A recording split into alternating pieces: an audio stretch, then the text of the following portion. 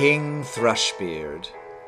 Once there was a king who had two sons, a very good and very fine older son, and a very, very beautiful younger son.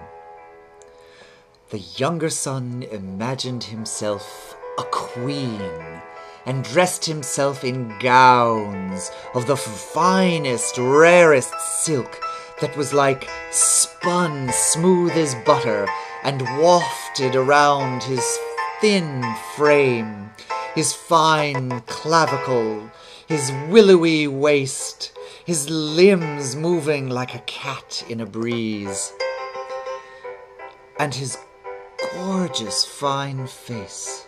And he would waft through the castle, trailing beauty and amazement behind him, as all would look on him with sighs, having witnessed beauty incarnate. But he knew he was beautiful, and it gave him an outsized sense of pride. He was so proud, it was so strong in him, and he wore it and used it on people. He used it to get what he wanted, he used it to have his way, he used it to make others feel less. His father, when he came of age, knew it was time to marry him, and his father arranged suitors from all of the surrounding kingdoms to come and court his son, the princess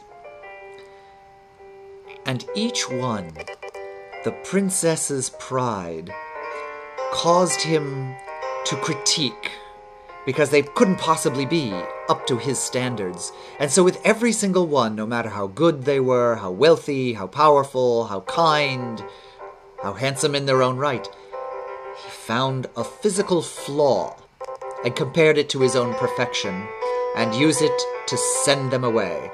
That one was too tubby. That one was stick thin. That one was obnoxiously muscly. That one was too tall. That one was too short. That one was dully average heighted. That one had too much hair. That one had too little hair, none at all. And that one had disastrously normal hair. And away they were sent. Until they were running out of suitors. And the king finally said, There is one more. One. You will see this one, and I defy you to find a flaw. And in came this handsome young prince. And the princess, the king's son, looked him up and down, and it was hard to find a flaw, for he was pretty stunning. But the princess settled on the pointed beard of the young prince and said, Your beard is pointed in the same shape as the beak of a thrush. You look like a little birdie beak. Tweet, tweet, tweet. I name you King Thrushbeard, and you are not for me. Go away. King Thrushbeard left humiliated. And the king was furious, and he said, My son, you will marry the next beggar that comes to the palace. I vow. And the princess quaked in her chiffon silken robes. And that afternoon, a minstrel, a begging musician, came and played his lute outside the windows of the palace, in hopes to gather some alms from the king. And the king heard the music, and he urged the minstrel beggar to come in and to play for the court. And the minstrel played upon his lute with his little shabby hood and scraggly beard, and played beautifully. And when the song was done, the king said, Let us all give this wonderful musician alms, money for his artistry. And, my friend, I have news for you. To honor the music which has delighted us, I give you my son the princess's hand in marriage. And the princess was horrified, and she dropped to her father's feet. And he said, Please, father, do not marry me to a beggar. I am too fine and not made for this life. Please, father. And the king said, Enough. I made a vow. You will go with your new husband. And he brought out the priest, and the priest in his wine red robes and finery performed the wedding ceremony And the princess was married to the beggar. And they took off his fine robes and gowns. And he put on a simple frock. And his husband said, Cheer up, my beautiful wife. It is not so bad living with me. There will always be music. And out from the castle they went, the king's youngest son, now dressed in a simple cotton dress, and his husband, the minstrel, the beggar, with a scraggly beard and the tattered clothing. And as they walked out of the kingdom, they stepped towards this great forest with huge trees of pine and oak. And the young princess said, O husband, whose great forest is this, so dark and fine? And his husband said, Oh, this forest belongs to King Thrushbeard, and it might have been thine. And the young princess said, I've been young and foolish. I am afeard. Oh, that I had accepted this King Thrushbeard. And after they had passed the great forest, there was a huge meadow with green swaying grass and little flowers, buttercups and butterflies drinking from each. And it went on for miles.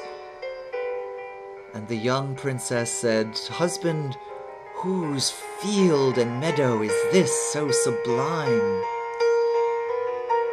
And her husband said, This meadow belongs to King Thrushbeard and it might have been thine. And the king's youngest son said, I have been young and stupid, I'm afeard. Would that I had accepted King Thrushbeard. They walked on, finally passing the meadow, and there was a great city with tall, noble buildings and gorgeous architecture built by clever men. And the young princess said, Husband, whose shining city is this so fine? And her husband said, This great city belongs to King Thrushbeard, and it might have been thine. And the young princess said, I have been young and silly. I am afeard. Would that I had accepted this King Thrushbeard. And they walked past the city, past the little houses around it, until there were only muddy fields, and in a little bend in the road there was a small cottage that had been patched together out of scraps, and she said, Oh, husband, whose, whose hut is this? I, I'm afraid to ask because I'm afraid I know. And her husband said, My wife, this is your home.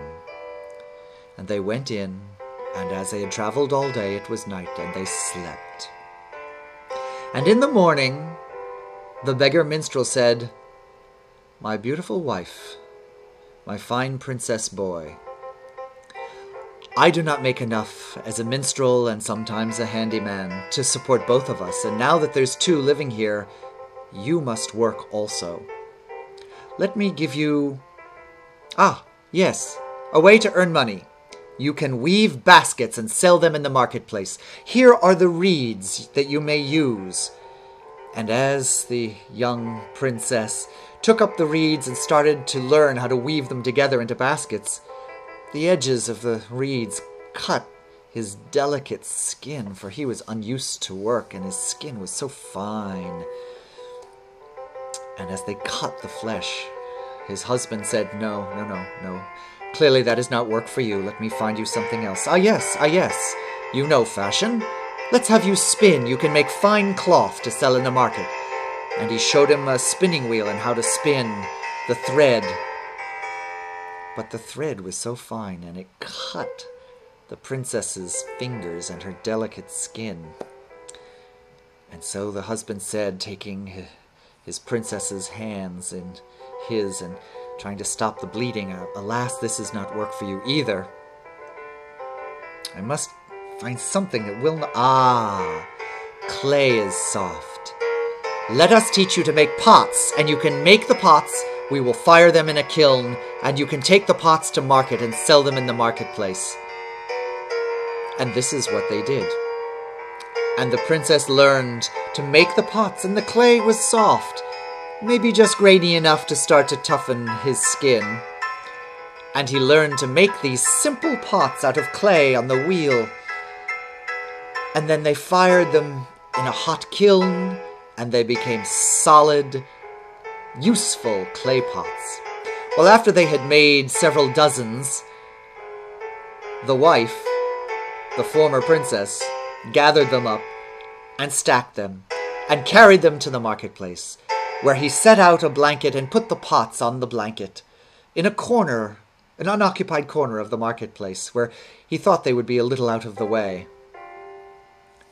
No sooner had he settled down, before even selling a pot, when a knight on a huge charger, a great steed, came riding full on into the marketplace straight into the pots, and the hooves of the giant horse shattered every single pot. And the princess was left with nothing. And he picked himself up in his simple cotton dress and walked home. And his husband, who was restringing his lute, looked up and said, Why are you home? And, Oh, you must have sold everything. You have brought nothing back. And his wife, he said, My husband, a knight on a steed rode into them and shattered every one. I'm not good enough even to make pots and sell them in the marketplace. What use am I? When I was younger and a princess, I was at least an ornament, and now I am nothing. I am nothing. I'm not even useful. And his husband took him in his arms and said, Do not weep. I know something that may be a little closer. Your father, the king, I have heard, is looking for help in the kitchens. They need a maid in the kitchens. Let's go tomorrow and see if they will take you in. And so they went on the next day back to his father's castle. And sure enough, the head chef welcomed him back and said, You will be a kitchen maid. And so you will need to scrub these floors, and you will need to clean those pots, and you will need to clean the pans, and you will need to chip out the butter that's been cooked on when we were making caramel with sugar, and you will need to order everything, and chop the vegetables, and scoop out the fireplace, and the former princess accepted all of this and got right to work. And in the evenings, he would strap a belt with two little pouches for two little pots, and in those pots, they would put any leftover soup and stew from the meal. And so he brought home any of the leftovers from his father's palace back to his beggar husband in their little shack, and they would eat the leftovers.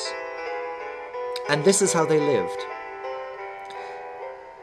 And one great day, there was a feast and a party celebrating the maturity of his older brother, the prince. And all the nobles came in all their finery, and it was beautiful. There was music and dancing, and a huge feast and he helped prepare the feast, and he worked, worked, and worked until the last dish was served. And then, having some time before it was time to go home, he filled his pots with leftovers from the feast to carry home, and he snuck up into a stairway and right in a little corner in the entranceway to the great hall to just observe his former life as it danced and ate in all its glory, a glory denied him, for he was no longer the princess. And as he turned to go, one more guest was announced. And he turned and looked, and sweeping past him in a great cape was King Thrushbeard. And King Thrushbeard walked right past, and his cape swooped over the little scullery maid and tipped him over, and he fell down the stairs into the hall, the great hall, the shining hall, onto the floor with the dancers. And his pots spilled out all of the soup and the leftovers and spilled it onto his cotton raggedy dress, and he was laying in the middle of the muck of the stew, and all the courtiers pointed at the forlorn little kitchen maid and laughed and laughed and laughed. And the princess wept for hum- her humiliation.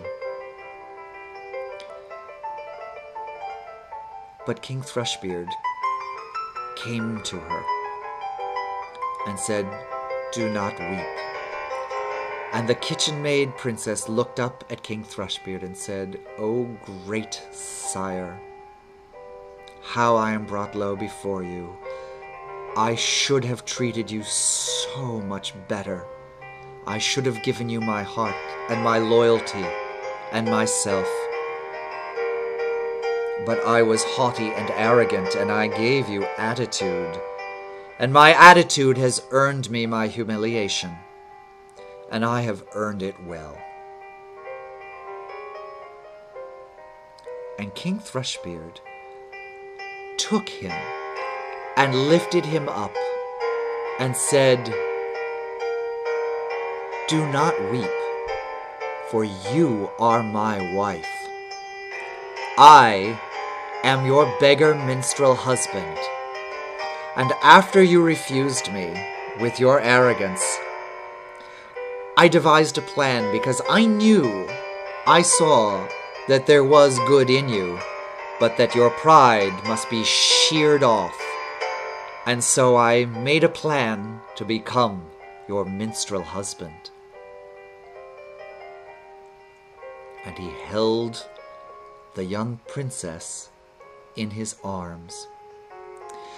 And he brought out a beautiful golden dress with powder blue trimmings, and he took his little wife away, and they dressed him in this gorgeous shimmering gown. And they came back out onto the dance floor, and the princess's father embraced his son, and his older brother embraced his younger brother, the princess. And the king, Thrushbeard, and his wife danced the night away. And when they went home in a golden carriage, they went to sleep in King Thrushbeard's great castle. And she served him as his queen. And she was a noble queen because not only did she serve her royal duties with the noble, nobles of the court, but she also looked after everyone in the kingdom, especially the poor. And if there was one family who was going without food, she would go down to the kitchen and fill clay pots with food and carry them in her gilded carriage to the home of that family where she would walk to the door with the pots of food in her hands and give them into the hands of those who needed. And all in her kingdom were well. Remember to look past the circumstance of each person and see the good in all, rich and poor, noble and arrogant. See the good in everyone, and especially see the good in yourself.